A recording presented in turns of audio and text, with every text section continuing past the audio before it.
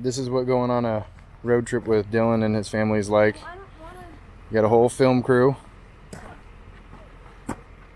cameras everywhere. There's one here, there's one there, got one there, one over there. Pepper's got one, and Oliver has one too. For one little bump in the road. Hopefully nothing goes wrong. Ah, this ain't nothing. Yeah, if you just keep your passenger wheels right there, you'll be uh, your your DEF tank will be fine. I'm thinking is we're gonna film you going through, and then you're gonna spot me.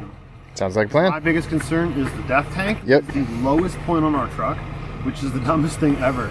We came through okay, but our DEF tank was on the other side last time. It was pretty Yeah, straightforward right through here. You're able to high side it. we have this transition that's shin high. Yep.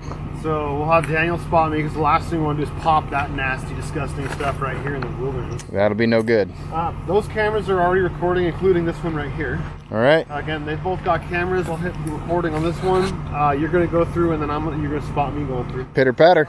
You see the one in the middle with the flashing light, Yep. okay, and then there's one on the wall, Yep. and then there's one right here. Okie dokie.